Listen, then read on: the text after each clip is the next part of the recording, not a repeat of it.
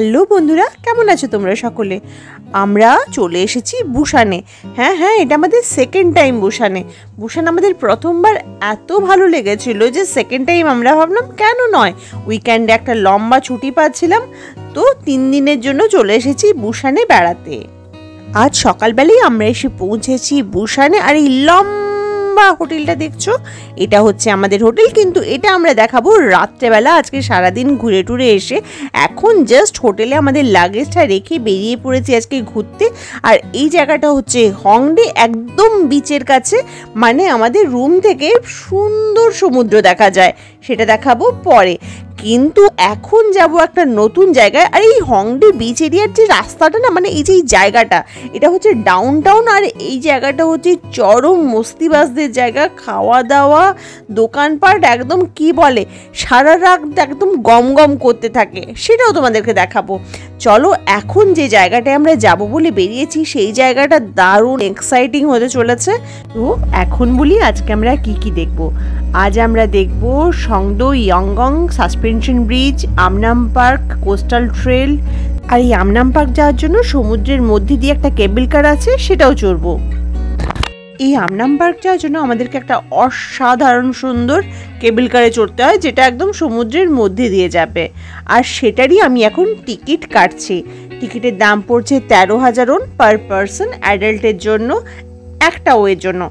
দুটো ওয়ের জন্য কাটলে আর একটু বেশি পড়বে একটা ওয়ের জন্য কাটলে তেরো হাজার তার মানে আমাদের ইন্ডিয়ান টাকায় মোটামুটি ওই আটশো টাকা। ঠিক আছে? আর এখানে টিকিট কাটার জন্য তোমাকে কাউকে কোনো কাউন্টারে যেতে হবে না, কারোর সাথে কথা বলতে হবে না, সব জায়গায় ইংলিশ ল্যাঙ্গুয়েজের ব্যবস্থা আছে, তুমি সহজেই মেশিন থেকে টিকিট কেটে নিতে পারো নিজের।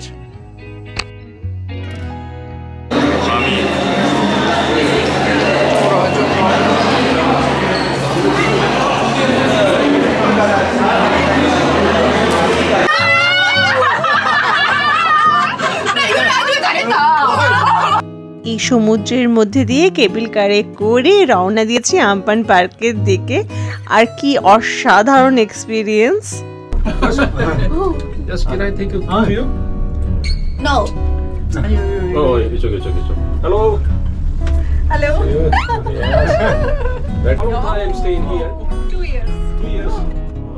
Yes.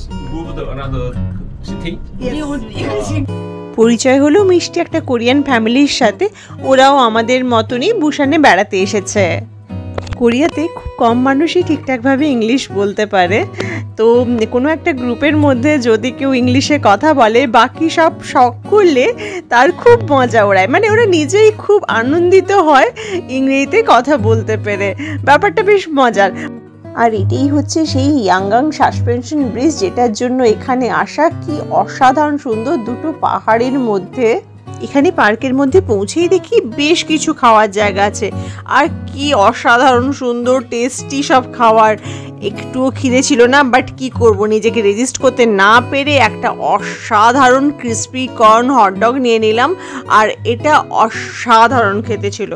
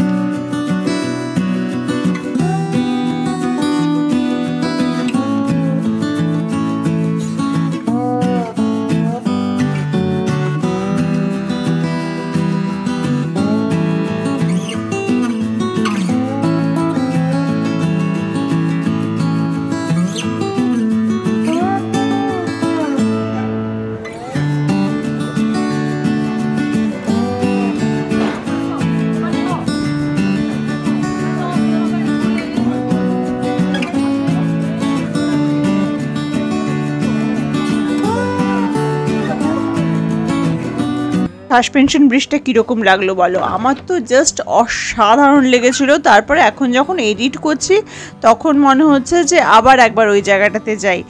এটা আমরা করছিলাম যে ওই পার্কের মধ্যেই একটু বদমাইশি করছিলাম, আমি একটু নাড়িয়েছিলাম, সেটা অর্ণবের হলো না। অর্ণব আবার কান ধরে নাড়িয়ে দিচ্ছে, তার দেখো সে মাথা নাড়াচ্ছে বলে। যাই হোক তারপরে পার্কের মধ্যে আমরা বেশ কিছুক্ষণ ঘুরে বেড়ালাম। পার্কের মধ্যে পার্কটাও ভীষণ সুন্দর ছিল, একদম গ্রিনারিতে ভর্তি ছিল। তো পার্কের মধ্যে আমরা বেশ কিছুক্ষণ ঘুরে বেড়াচ্ছিলাম। তারপরে আমরা আবার গেলাম ওই সংগ্র বিচ এরিয়াটাতে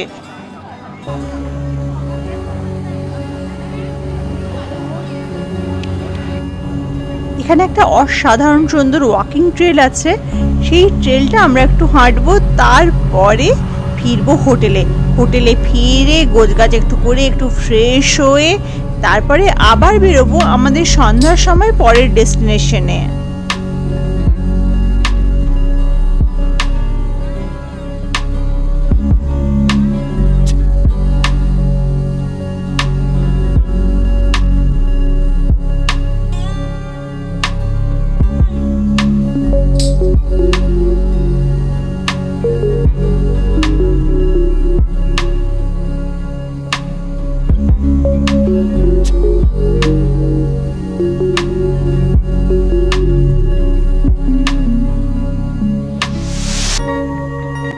এই ভিডিওটা আমি এখানেই শেষ করছি।